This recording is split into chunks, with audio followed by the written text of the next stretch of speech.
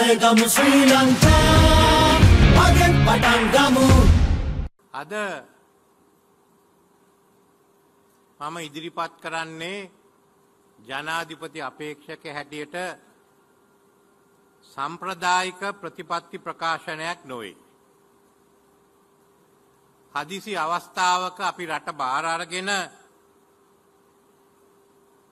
ඒ රටේ ශ්‍රී ලංකාවේ ආර්ථික ස්ථාවර භාවය ඇති කරන ගමන් දැන් අපි ඉදිරිපත් කන්නේ ෂණිකව ක්‍රියා කරන්න පුළුවන් ව්‍යාකෘති සියල්ලම. ඒකයි විශේෂයම මේක සඳහන් වෙන්නේ. අපේ සම්ප්‍රදායත් තියනවා මන් දැක්කා අනික් අපේක්ෂකයන් තමන්ගේ ප්‍රතිපත්ති යොදෝලා තියෙනවා අවුරුදු ගණනාවක යන්නේවා ඒත් මේ අවස්ථාවිදි අපිට ඕනෑ වහාම ක්‍රියා කරන්නට පුළුවන් යෝජනා. අපි විශේෂයෙන්ම ඉන්නේ අර්බුදකාරී යුගයක. ආර්ථික හා දේශපාලනය සම්පූර්ණයම කඩා වැටිලා. විශ්ව විසි දෙකේ ඇත්ත වශයෙන්ම මේ රටේ අවුල නිසා මේ රටේ ආණ්ඩුව භාරගන්න කවුරුවත් හිටියේ නෑ. මේ ඉන්නේ එතෙන්ට එකතුනේ අය. මේක ඉතුරුුණේ මම මං එක්ක වැඩකරපු අගමැතිවරයයි ඇමතිවරුත් මන්ත්‍රවරුත් ඉන්නවා. කෙසේ හෝ අපි විශ්ව විසිතුන වෙනකොට ආර්ථික ස්ථාවර භාවය ඇති කරලා තියෙනවා. අපි ඒ වගේම ඒ ආර්ථික ස්ථාවර භාවය තවත් ඉදිරියට ගෙනීන් තියෙනවා. ඒ ස්ථාවර භාවයක් විශේෂයෙන්ම තවත් තහවුරු කරන්නට තියෙනවා. ඒ ස්ථාවර භාවය ආරක්ෂා කරන්නට අපි අපනායන ආර්ථිකයක් බවට ලංකාව පත් කරන්න තියෙනවා. අන්න ඒ රාමුව තුළ තමයි අපි වැඩ කටයුතු කරන්නේ. එක එක පොරොන්දු දීලා ආපව් ආර්ථිකයක් කඩාගන්ට අපිට වුවමනා නෑ. අද අපි දකිනෝ දේශපාලන ආර්ථික අස්ථාවර භාවවල උදාහරණ. අපි දෙපැත්තෙන් බංගලදේශෙත් මාලදිවේනෙත් මේ සිද්ධිය ඇති වෙනවා. අපිට ඇති වුණ ඒ අවස්ථාව යළිත් අපි ඇති කරගත්තොත් මේ තරුණ තරුණියන්ට ඇත්ත වශයෙන්ම අනාගතයක් නෑ. අපිට තියෙන්නේ මේ ස්ථාවර භාවි විශේෂයෙන්ම මේ ස්ථාවර භාවය තවද දුරට ගෙනහිල්ලා විශේෂයෙන්ම මේ රටේ ආර්ථිකය පරිවර්තනය කරන පියරවලට යන්න.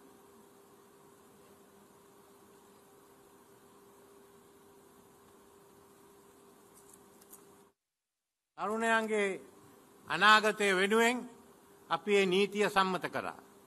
ඒ නීතිය සම්මත කරන්නට තියෙනවා. ක්‍රියා කරන්නට තිබෙනවා. අපි විශේෂයෙන්ම මේ අවුරුදු දෙකේදී මේ රට ලබාදීලා තියෙන වාසය ස්ථාවර භාවය ආරක්ෂා කරන්න නං අපි අපි අපනායන ආර්ථිකයකට විශේෂයෙන්ම පරිවර්තනය වෙන්ට තියෙනවා. මේ නිසා දැනට අලුත් ආර්ථික ප්‍රතිපත්ති දාලා මේක වෙනස් කරන්නට යන්ට උමනා නෑ. අපිට ගිවිසුම් තියනවා. මේ ගිවසුම් අනුව ක්‍රියා කරන්න. මේ ප්‍රකාශනය පදනං කරගෙන තියෙන්නේ ලංකාව හා IMF සංවිධානය ඇතුල්ලුන ගිවිසුමත් ලංකාව හා අපිට ණයදුන්න Uh, OCC සංවිධාන Official Creditors Committee සංවිධානට ඇත් රටවල් දාහතත් චීනයත් IMF සංවිධානයත් ලෝක බැංකුවත් ආසියානු සංවර්ධන බැංකුවත් සමඟ ඇතිවුණ ගිවිසුම. එනම් ගිවිසුම් දෙකක් අපිට තියෙනවා. මේ ගිවිසුම් රාමුව තුළ තමයි අපි ක්‍රියා කරන්නේ. මම කැමති අනික් අපේක්ෂයෙන් අහන්න තමන් ලෑස්තිද මේ රාමුව තුළ ක්‍රියා කරන්න. මෙ සංශෝධනය නොකර මෙ වහාම ක්‍රියා කරන්නට කැමතිද. අන්න ඒ ප්‍රශ්නය තමයි මං පළුමේම අහන්ට තියෙන්නේ. ඊට අමතරව මේ රාමුව තුළ ආණ්ඩුවක් හැටියටත් මටත් තියෙනවා මූලික පරමාර්ථ කීවයක්. ඒව ක්‍රියාත්ම කරන්නේ යම් කිසි මූල ධර්මයක් තුළ.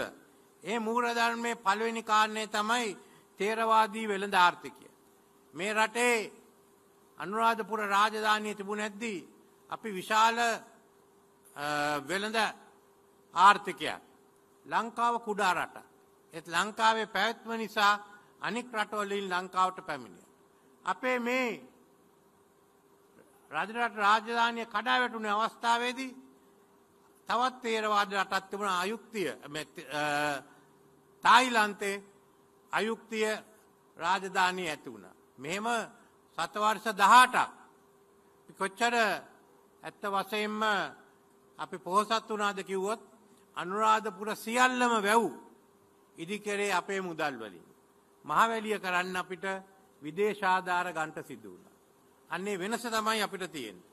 එනම් අද අපේ තේරවාද වෙළද ක්‍රමය ආර්ථිකය තායිලන්ත ක්‍රියාත්ම කරනවා. වියට්නාම ක්‍රියාත්ම කරන අපිත් සම්පූර්ණයම එක ක්‍රියාත්ම කරන්නට කියලා අපි යෝජනා කල්ලා තියෙන්නේ. දෙවනුව මේ රටේ මේ කාලෙ තුලදී ජනතාව විශාල ලෙස දුක්වින්ද. මං අලුතෙන් කියන්ට උමනා නෑ මට වඩා හොඳට ඔබ දන්න ඔබේ ගෙවල්ට මොකද සිදුවනේ කිය. ඒ නිසා ආර්ථිකය දියුණුවෙන අවස්ථාවේදී ජනතාවටත් වාසියක් ලබාගන්ට තියෙනවා. ඒ වාසිය ලබාගන්ට තමයි විශේෂයෙන්ම අපි ජනතා අංශ ආරම්භ කරලා තියෙන. අද උරුමේ වැඩ සටහන යටතේ ලක්ෂ විස්සකට අපි ඉඩන් දෙනවා. ලක්ෂ දෙකට අඩු ආදායම් ලක්ෂ දෙකට නිවාස හම්බ වෙනවා. ඒ වගේම වතුකරේ ජනතාවට ගම්මානත් ඉඩම් හම්බ වෙනවා. මන්න ඒක තමයි අපි විශේෂයෙන්ම අයිතිය දියුණු කරන්නට ව්‍යාප්ත කරන්නට ක්‍රියා කරන්නේ.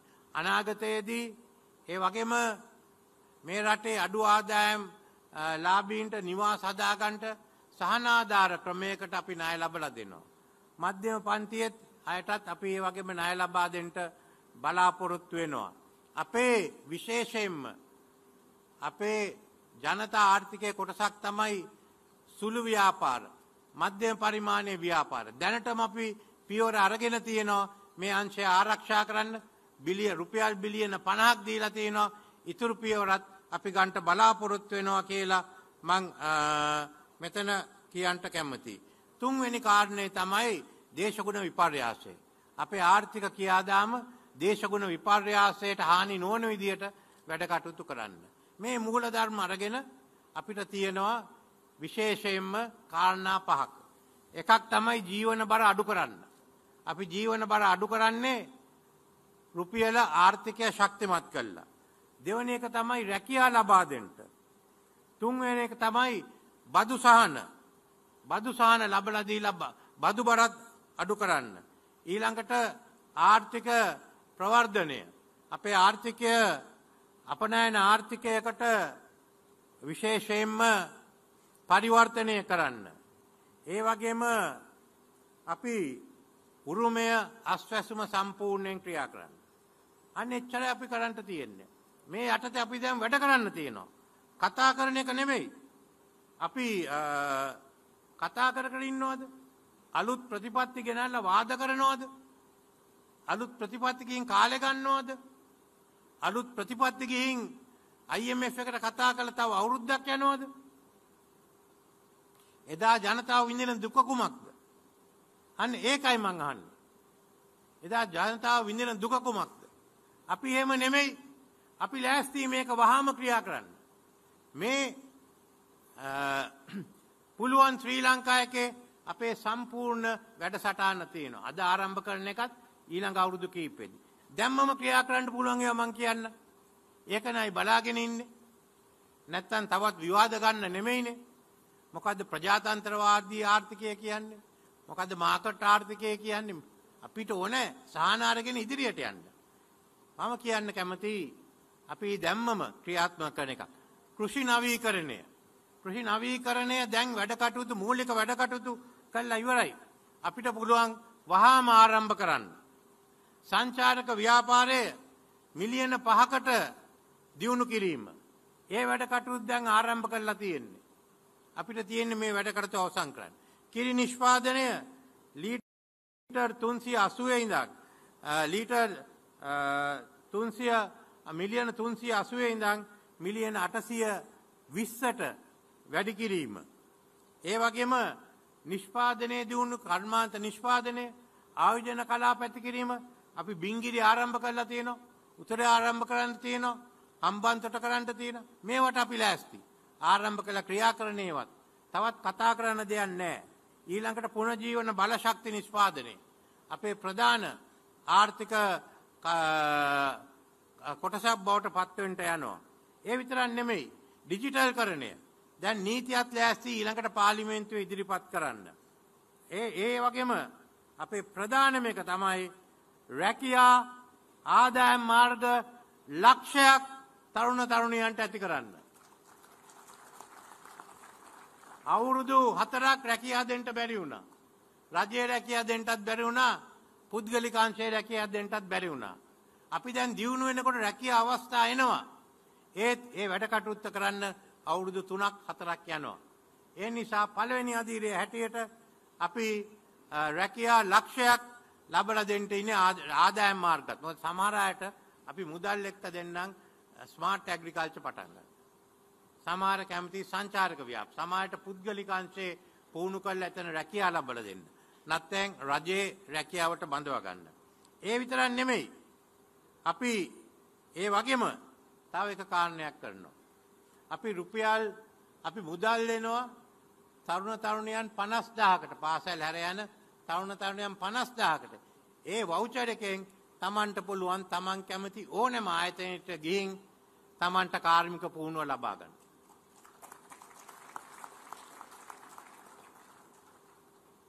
පුද්ගලික හෝ රජයේ Taman තීරණය කරන්න. මොකද්ද මේකයි මට හොඳ රැකියාවකට යන්න? ඒක අරගන්න කර. අන්න මේක අපි ලෑස්ති. හෙට අනිද්දාම ක්‍රියාත්මක කරන්න. අවුරුදු ගණන් ඕනේ අනික් අය කතා කරනවා තරුණයන් ගැන කවුරුවත් තරුණයන්ට රැකියාව ගැන නැහැ. අන්න ඒකයි විශේෂයෙන්ම. ඒකම ඒ වැඩ කටයුතු කරන්න අපි අලුත් පුහුණු වීමේ ඒ වගේම අපි අධ්‍යා වෘත්තීය අධ්‍යාපනය වෙනස් කරන්නට ඉන්නේ නයිට එකයි. ඒ ඔක්කොම ආයතන ඒකාබද්ධ කරලා vocational scheme Sri Lanka VSSL එක්ක. මේ සියල්ලම ඇති කරන්න. ඒ වගේම පාසල් මණ්ඩල ඇති කරන්න. අපේ ඇමතුමා දැම්මම ක්‍රියා කරගෙන යනවා. ඉංග්ලිෂ් ෆෝල් අපි හිගුරක් ගොඩ ගුවන්තොටු පොලක් අරගෙන දෙන්නම්. වතුකරේ ගම්මාන දැන් අපි ආරම්භ කරනවා. නිවාස හදන්නට ආරම්භ කරනවා. ඒ විතරක් නෙමෙයි. ඔක්කොමලා කතා කරන හුරු අල්ලන එක ගැන. කොහොමද හුරු අල්ලන්නේ? මොකද්ද ඔයගොල්ලෝ කරන්නේ? මෙන්න හොරු අල්ලන පනත් අපි ගේන්නේ. විශේෂයෙන්ම දූෂණයට විරුද්ධව න්‍යාය පත්‍රය සම්මත කළා සමහර නීති ගෙනල්ලා අනෙක්ව සකස් කරගෙන යනවා තවත් ගේන්න තියෙනවා. මම කියන්නේ අනික් අය කතා කරනවා අපි ක්‍රියා කරනවා. මේ සංවිධානවල ඉන්න නිලධාරීන් වලට විශේෂ පුහුණුවක් ලබලා දෙනවා. මේක සම්පූර්ණයෙන්ම ක්‍රියාත්මක කරන්න කියලා මම කොමිටියක් පත් කරනවා. ඒ කොමිටියට කතානායකතුමාට කියන එක පුද්ගලයෙක් නම් කරන්න කියලා. ඒ කොමිටියට අපේ වෘත්තීය වේදීන්ගෙන් සංවිධානයට කියනවා එකක් නම් කරන්න කියලා නීති වේදී සංවිධානයට කියන එකක් නම් කරන්න කියලා ඒ වගේම අපි වෙළඳ මණ්ඩලයට චේම්බර් ඔෆ් කොමර්ස් කියන එක්කෙනෙක් පත් කරන්න කියලා. එහෙනම් එතනින් හතරයි අපිට ඕන නම් පහක් දාන්න පුළුවන්. ඉතින් කාටවත් කියන්න බෑ අපි මේ කවුරුහරි ආරක්ෂා කරන්නට යනවා කියලා. අනික් අය කියන්නේ මොකද්ද කරන්න කියලා? කතා කරන්න ලේසි. හැමදාම කතා කරනවා. අන්න ඒකයි වෙලා තියෙන්නේ. ඒ වගේම කාන්තාවන් සවි බල ගැනීමේ පනත ක්‍රියාත්මක කරනවා. රජයේ සේවකයන්ට අපි අවුරුද්දක නිවාඩු දෙනවා හොඳ පාඨමාලා. අපේ ඒ වගේම රාජ්‍ය ප්‍රතිපත්ති හා කළමනාකාර විශ්වවිද්‍යාලය ආරම්භ කරනවා. මේ වගේ වැඩ කටයුතු ගණනාවක් තියෙනවා වහාම ක්‍රියා කරන්න. අපි බලන්නේ 2048 දිහා. 2048 මේ ඔයට හැම එක්කෙනාටම හොඳ අනාගතයක් ලැබලා තව අවුරුදු 25ක් කියන්නේ මොකද්ද? 50ක්වත් නැහැ. අපි ඒ ගැන හිතනවා. ඒ ගැන ක්‍රියා කරනවා. වෙන කවුද ඒක කරන්නේ? ඒකයි පුළුවන් කියන්නේ. අපිට පුළුවන්. වෙන අය බෑ කිව්වද අපි පුළුවන් කිව්වා. අද මෙතෙන්ට ආවා. එහෙනම් ඉතින් ඉදිරියට යන්න පුළුවන් කියන අය එක්ක තමයි ගමන් කරන්න තියෙන්නේ. මේක හරි ලේසි ක්‍රියාත්මක කරන්න. ස්විච් එක දාන්න අපි වැඩ කරන්න ලෑස්ති ඊළඟ දවසේ. ස්විච් එක දාන්න අපි වැඩ කරන්න ලෑස්ති ඊළඟ දවසේ. ඉතින් මම ඔබ සීල දෙනාගෙන් ඉල්ලා සිටිනවා. රට වෙනුවෙන් අපි ඉදිරියට යමු. ඔබ ස්විච් එක දාන්න සෙප්තැම්බර් 21 වෙනිදා ගෑස් සිලින්ඩර් රගින් කතිරේ ගහලා ස්විච් එක දාන්න 22 වෙනිදා ඉඳන් අපි වැඩ යලිත් ආරම්භ කරනවා කියමින් මගේ වචන ස්වල්පය මම ප්‍රකාශ කරනවා. Today, our concern is are we going to pay our tax?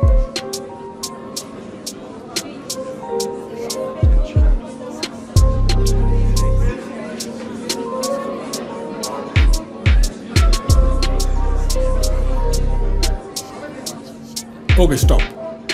We will pay the tax. Api badu geum. Jayagam